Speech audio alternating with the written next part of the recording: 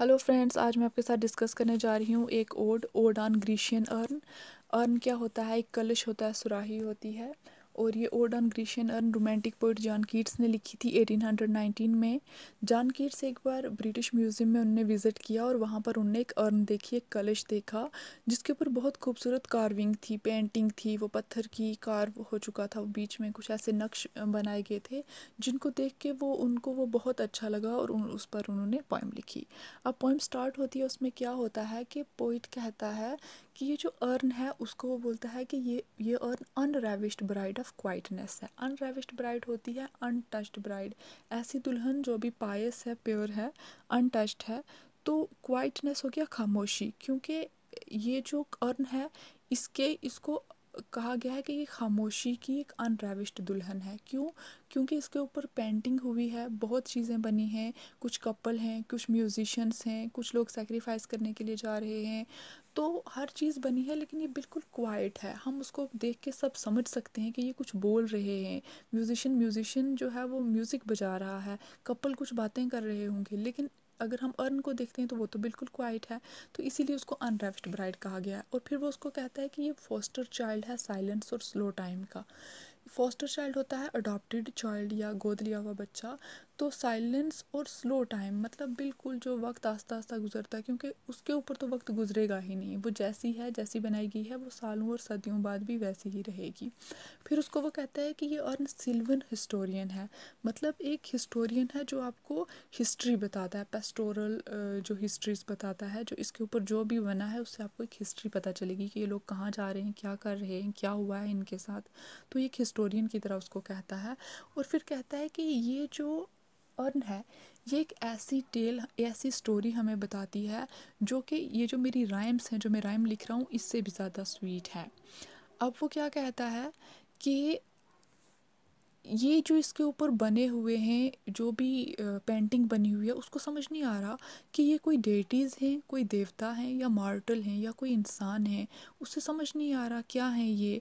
और ये औरतों को जो कुछ औरतें हैं, उनके पीछे कुछ लोग हैं, क्या उनको वो वो औरतें बचने की कोशिश कर रही हैं? तो ये क्या चल रहा है? और ये पाइप्स जो म्यूज़िशियन हैं म्यूज़िक बजा रहे हैं, क्या है? ये क्या वाइल्ड एक्सटेसी है? फिर वो कहता है कि जो हर्ड मेलोडीज़ होती है ना, जो हम गाने सुनते हैं या म्यूज़िक सुनते हैं, वो स्वीट होता है। लेकिन जो हम सुन नहीं पाते, वो ज़्यादा स्वीटर होता है। आप कैसे नहीं सुन पाते? क्योंकि अब वो देख रहा है ग्रीशन अर्न के ऊपर कुछ म्यूज़िशियन बने हुए हैं, वो पाइप्स बजा रहे हैं, लेकिन उसको सुनाई नहीं दे रही। वो सिर्फ़ इमेजिन कर सकता है कि कितनी खूबसूरत, कितनी स्वीट हो सकती हैं। अब फिर नेक्स्ट वो कहता है कि ये जो एक फेयर यूथ है, कुछ एक कपल है, खूबसूरत सा यंग कपल एक ट्री के नीचे खड़ा है तो वो कहता है कि इनका जो म्यूज़िक है, इनके, ये जो सॉन्ग इनका ये है, उसके बारे में वो बोलता है कि ये कितना, वो समझ नहीं पाता है कि क्या क्या गा रहे होंगे।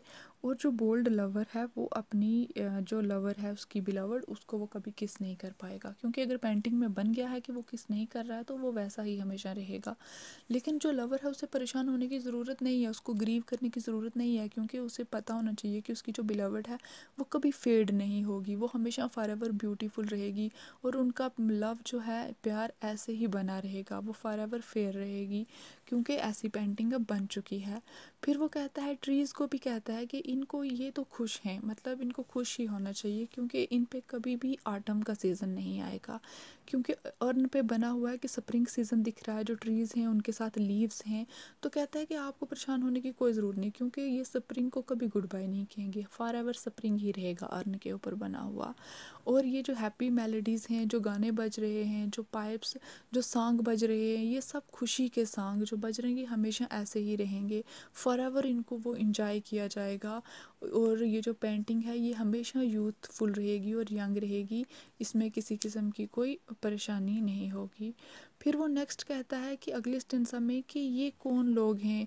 ये कुछ सेक्रीफाइस करने जा रहे हैं। इनके पास एक यंग एक हीफर है। हीफर होती है यंग काओ ये एक प्रीस्ट है और उसके साथ कुछ लोग हैं। ये लोग अपनी यंग काओ को लेके कहीं सेक्रीफाइस करने जा रहे हैं और कहता है ये लोग कहीं सी शोर के पास से आए हैं, कहीं समंदर के किनारे से या रिवर के पास इनका टाउन टाउन है ये वहाँ से आए हैं और कहीं ये माउंटेन पे जा रहे हैं जहाँ पर इनको सेक्रीफाइस करना है।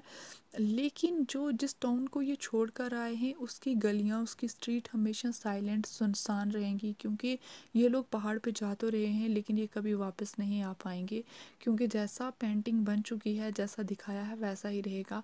वह बदल नहीं सकता।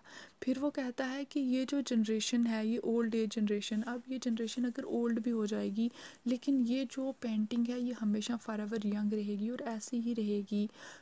कहीं लोग आएँगे और देखेंगे और सालों बाद भी ऐसी की ऐसी रहेगी। और एंड में वो कहता है कि beauty is truth truth is truth beauty that is all you knee you know on earth and all you need to know कहता है कि सुंदरता ही सच्चाई है और सच्चाई ही सुंदरता है और यही सच है और यही इस अर्थ पर यही सच है और यही आपको जानना चाहिए और यही जानने के काबिल है।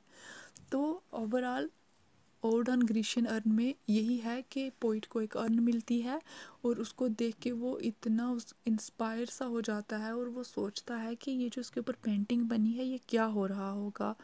ये क्या बता रही है? उसकी हिस्ट्री उसको उसको अर्न देखने से अर्न की पूरी हिस्ट्री पता चल जाती है कि जिस बंदे ने कार्व किया है, इसने ये कितनी स्टोरीज़ इसके ऊपर कार्व की हैं। एक कपल की अलग से स्टोरी है, जो लोग सेक्रीफाइस करने जा रहे हैं, उनकी अलग से स्टोरी है और जो लोग वो कुछ लड़कियों के पीछे पड़े हैं और वो बचने की कोशिश कर रही हैं तो हर एक स्टोरी अलग अलग उसके ऊपर दिखाई दे रही है जो कि पोइट ने समझी और उसने आ, हमें बताई। अगर आपको मेरी ये वीडियो पसंद आती है तो प्लीज़ लाइक और सब्सक्राइब और शेयर ज़रूर कीजिए।